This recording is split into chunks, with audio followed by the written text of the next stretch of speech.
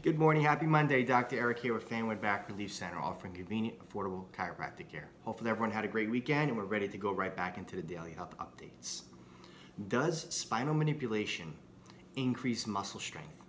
Many athletes have reported that they've experienced improvements in both related to speed and strength following a chiropractic adjustment.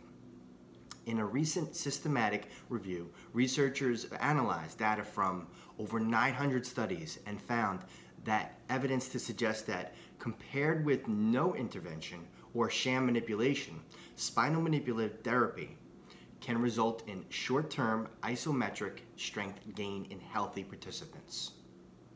For more information on this actual study, you can check out the reference in the article. Um, but if you have any specific questions, of course, just give us a call. We have tons of information on our website at fanwoodbackrelief.com. You're more than welcome to visit there. But again, feel free to call. We love answering questions, and we are here to help.